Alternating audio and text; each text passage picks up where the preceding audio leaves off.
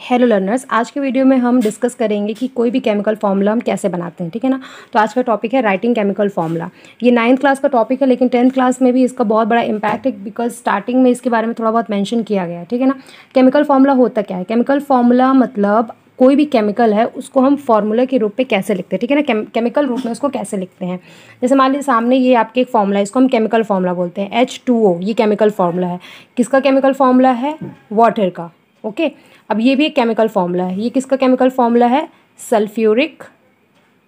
Acid का okay ये क्या है ये भी एक केमिकल फॉर्मूला कैल्शियम क्लोराइड का तो ये सारे केमिकल फॉर्मूला है ठीक है ना अब इसको बनाते कैसे हैं तो आपके दिमाग में आ रहा होगा मतलब क्वेश्चन उठता होगा कि ये एच के नीचे टू क्यों है ठीक है ना और ये टू ही क्यों है दूसरे नंबर्स क्यों नहीं है ओ के पास कोई नंबर नहीं है एच टू है एस एस के पास कुछ नहीं है ओ के पास फोर है तो ये नंबर्स का क्या खेल है मतलब ये हम बनाते कैसे क्यों सल्फ्यूरिक एसिड का formula H two S O four ही है ठीक है ना H two S O three भी तो हो सकता था एच वन की जगह टू की जगह वन हो सकता था वन से लेकर हंड्रेड तक कितना भी हो सकता था तो ये एक तरीका होता है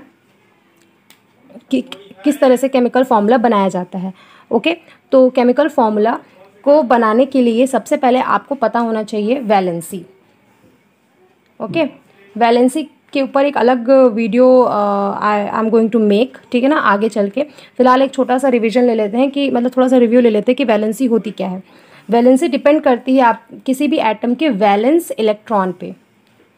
okay valence electron valence electron क्या होता है जैसे मान लीजिए कोई भी एटम है उसमें तीन चीज़ें होती हैं एक होता है न्यूट्रॉन एक होता है प्रोटॉन और बाहर की तरफ होता है ऑर्बिट में और इलेक्ट्रॉन uh, ओके अब जैसे मान लो जो कोई एटम है ठीक है ना उसका आ, उसके सबसे बाहर वाले ऑर्बिट में सबसे बाहर वाले शेल में एक इलेक्ट्रॉन है ठीक ज़्यादा से ज़्यादा एट इलेक्ट्रॉन हो सकते हैं आठ ठीक है ना मान लीजिए एक इलेक्ट्रॉन है तो हम क्या बोलेंगे इसके इसके वैलेंस इलेक्ट्रॉन कितने हैं वन है ठीक है ना मतलब इस एटम के वैलेंस इलेक्ट्रॉन वन है लेकिन इसकी वैलेंसी कितनी है वैल्यू से देखो क्या हो सकता है प्लस में वैल्यू आ सकती है और माइनस में वैल्यू आ सकती है प्लस में वैल्यू तब आएगी जब वो अपने एक इलेक्ट्रॉन डोनेट करने वाला होगा और माइनस वाला माइनस में वैल्यू तब आएगी जब वो किसी से इलेक्ट्रॉन लेने वाला होगा वैलेंसी पे एक मैं सेपरेट टॉपिक बनाऊंगी उसमें आपको समझ में आ जाएगा बस एक हल्का सा रिविजन हम ले रहे हैं जैसे मान लीजिए जब इसके पास एक इलेक्ट्रॉन है ठीक है ना लेकिन इसको पूरे बाहर करने हैं आठ इलेक्ट्रॉन ठीक है ना तो या तो दो काम कर सकता है या तो वो किसी से सात इलेक्ट्रॉन ले ले क्योंकि इसके पास ऑलरेडी एक है इसको सात की ज़रूरत है आठ करने के लिए पूरे ठीक है ना तो या वो किसी से सात ले ले या तो वो अपना एक इलेक्ट्रॉन किसी और को दे दे और शांति से बैठा रहे वो ये भी कर सकता है ठीक है ना या तो एक भी ना रहे और अगर रहे तो पूरा आठ रहे ये केस बनता है ठीक है ना तो अब इसके पास एक इलेक्ट्रॉन दे सकता है और सात इलेक्ट्रॉन किसी से ले सकता है तो खुद से दिमाग में सोचिए कि एक इलेक्ट्रॉन देना आसान होगा कि किसी से सात इलेक्ट्रॉन लेना एक इलेक्ट्रॉन लेने में बहुत एनर्जी लगती है ठीक है ना उसी तरह सात इलेक्ट्रॉन लेने में बहुत ज़्यादा एनर्जी लगेगी लेकिन अगर वो अपना एक इलेक्ट्रॉन लूज कर दे तो उसको ज़्यादा एनर्जी नहीं लगेगी ठीक है ना तो यही वाला रास्ता अपनाता है जिसमें वो अपना एक इलेक्ट्रॉन डोनेट कर देता है और जैसे कि मैंने बताया कि अगर कोई एटम अपने इलेक्ट्रॉन डोनेट करता है तो उस पर पॉजिटिव चार्ज आता है ठीक है ना और अगर कोई एक्सेप्ट करता है तो उस पर नेगेटिव चार्ज आता है ऐसा क्यों होता है ये मैं आपको वैलेंसी वाले वीडियो में बताऊंगी ठीक है ना तो डोनेट करने की वजह से उस पर पॉजिटिव पॉजिटिव चार्ज आ जाता है अगर वो अपने एक इलेक्ट्रॉन डोनेट करेगा तो हम ऐसे लिखेंगे वन प्लस अगर वो अपने दो इलेक्ट्रॉन डोनेट करेगा तो टू प्लस अगर वो अपने तीन इलेक्ट्रॉन डोनेट करेगा तो थ्री प्लस और अगर अपने फोर इलेक्ट्रॉन डोनेट करेगा तो फोर प्लस ठीक है ना तो ज़्यादा ज़्यादा वो फोर डोनेट कर सकता है अब उसके बाद मान लीजिए उसके पास चार से ज़्यादा इलेक्ट्रॉन है ठीक है ना ये ये ये पाँच इलेक्ट्रॉन अब वो एक काम कर सकता है किसी से तीन इलेक्ट्रॉन ले सकता है या तो अपने पाँच इलेक्ट्रॉन डोनेट कर सकता है तो पाँच इलेक्ट्रॉन डोनेट करने में टाइम लगेगा क्योंकि पाँच है लेकिन तीन इलेक्ट्रॉन लेने में कम टाइम लगेगा ठीक ना बिकॉज तीन ही तो लेने हैं लेकिन पाँच डोनेट करने हैं तो फाइव और थ्री में थ्री किसी से लेना ज़्यादा आसान होगा ठीक है ना तो वो तीन इलेक्ट्रॉन किसी से ले लेगा ये वाला आइटम ठीक है ना किसी से ले लेगा मतलब दूसरे किसी आइटम से जो डोनेट करना चाहता है ठीक है ना तो अगर वो एक इलेक्ट्रॉन लेगा किसी से तो उसके पास माइनस वन चार्ज होगा ठीक है अगर किसी से दो लेगा तो टू प्लस होगा अगर थ्री होगा तो थ्री प्लस होगा ठीक है अगर फोर होगा तो फोर प्लस होगा तो इस तरह से आप किसी की भी बैलेंस डिसाइड कर सकते हो ओके okay? तो कन्फ्यूज मत होगा वैलेंस इलेक्ट्रॉन क्या होता है वैलेंसी क्या होता है वैलेंस इलेक्ट्रॉन सिंपली वो होता है जो आउटर मोस्ट ऑर्बिट पे कितने इलेक्ट्रॉन है वो होता है वैलेंस इलेक्ट्रॉन लेकिन वैलेंसी क्या होती है वैलेंसी मतलब उसके अंदर कैपेसिटी कितनी है किसी भी अदर एटम के साथ बॉन्ड बनाने की ठीक है ना तो ये होती बैलेंसी अब फिर वापस आते केमिकल फॉर्मूला बनाने में तो केमिकल फॉर्मूला बनाने के लिए हमें वैलेंसी पता होनी चाहिए जैसे मान लीजिए मैं आपके सामने एक टेबल रख रही हूँ ठीक है ना इस टेबल में अलग अलग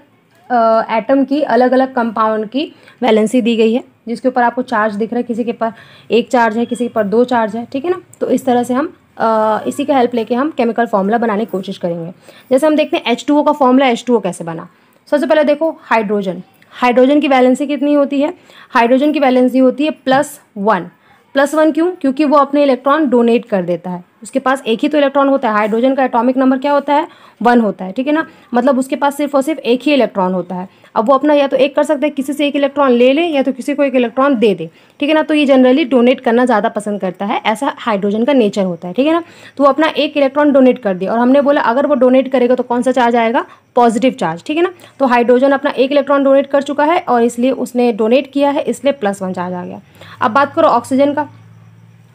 ऑक्सीजन को अगर आप देखोगे तो ऑक्सीजन पे कितनी ऑक्सीजन पे चार्ज कैसा होता है ऑक्सीजन में चार्ज होता है टू माइनस का माइनस टू या टू माइनस का चार्ज होता है ठीक है ना क्यों क्योंकि वो अपने उसके आउटर मोस्ट इलेक्ट्रॉन में ऑक्सीजन के सबसे बाहर वाले शेल को अगर आप ध्यान से देखो ठीक है ना तो उस पर कितने होते हैं one two three four five six होते हैं सिक्स होते हैं ये आपका पीरियोडिक टेबल जब हम देखेंगे तब हम समझेंगे कि इसके एटॉमिक सबसे वाले बाहर वाले शेल में छः इलेक्ट्रॉन होते हैं अब सोचिए इसको पूरा आठ करना है जैसे कि रूल है आठ करना है ठीक है ना अब इसके पास सिक्स हैं ओके तो ये काम कर सकता है अपने छः इलेक्ट्रॉन दे दे और किसी से दो इलेक्ट्रॉन ले ले इन दोनों में एक ही काम कर सकता है वो तो छः इलेक्ट्रॉन देने में ज़्यादा टाइम लगेगा लेकिन किसी से जल्दी से दो इलेक्ट्रॉन वो ले सकता है क्योंकि दो लेना इलेक्ट्रॉन कम टाइम लगेगा तो अपने इलेक्ट्रॉन किसी से लेगा कितने इलेक्ट्रॉन दो अब वो दो इलेक्ट्रॉन ले रहा है तो हम लोग टू लिखे और ले रहा है एक्सेप्ट कर रहा है तो नेगेटिव चार्ज तो टू माइनस टू चार्ज आ गया ठीक है ना अब यहाँ पे क्या होता है क्रिस क्रॉस मल्टीप्लाई होता है ठीक है ना तो हाइड्रोजन के पास टू आ जाता है और ऑक्सीजन के पास वन आ जाता है तो हम कैसे लिखेंगे पहले हम लिखेंगे एच फिर लिखेंगे टू फिर लिखेंगे ओ ओ के पास वन आ गया तो वन हम लिखते नहीं है इसलिए हम वन नहीं लिखेंगे तो इस तरह वाटर का फॉर्मूला बन जाता है एच टू ओ ठीक है ना समझ में आ गया चलिए ठीक है नहीं समझ में आया तो दूसरा देखते हैं जैसे हम C A C L two का देखते हैं चलिए ठीक है एच टू एस फोर का देख लेते हैं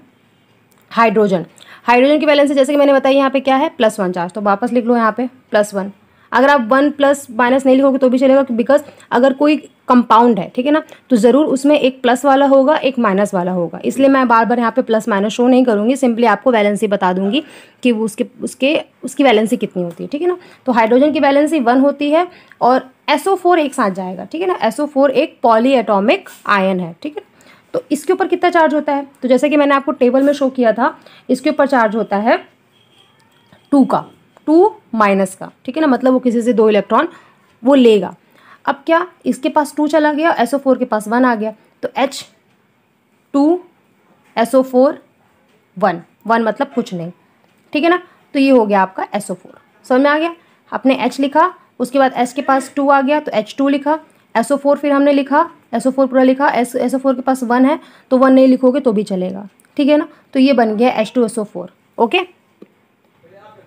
okay अब नेक्स्ट आते हैं हम बनाने जैसे एग्जाम्पल आपसे मैंने क्वेश्चन आपको मैंने बोल दिया कि आपको कंपाउंड बनाना है बिटवीन कैल्शियम और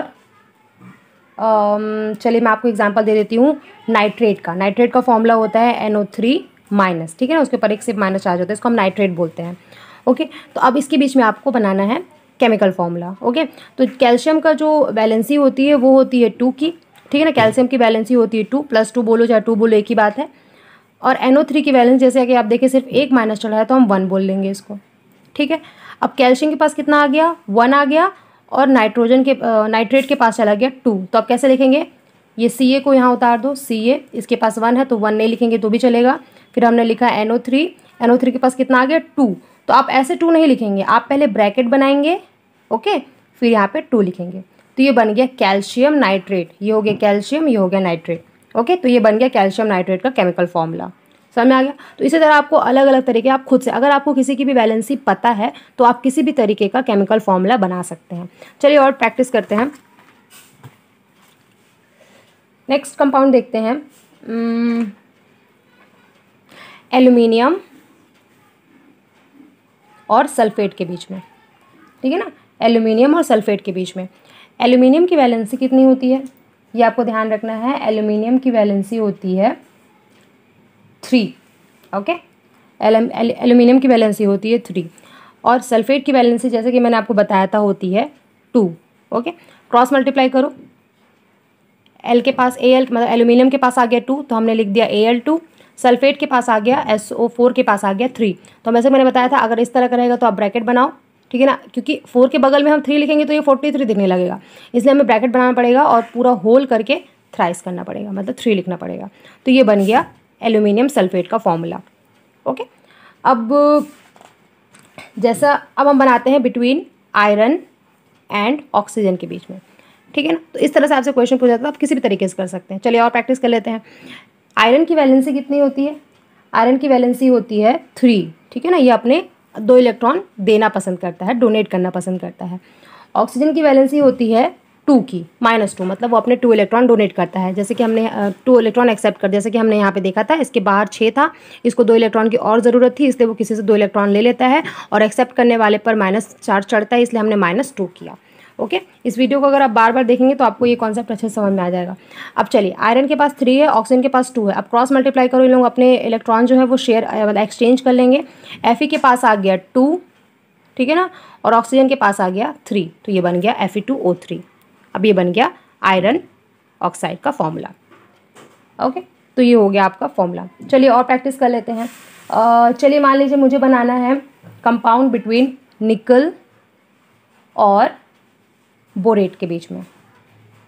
बोरेट का फॉर्मूला होता है B O three three minus ठीक है ना ये सारा टेबल आपको अच्छे से याद करना पड़ेगा और थोड़ी बहुत प्रैक्टिस से भी आ ही जाएगा ठीक है ना निकल का फॉर्मूला होता है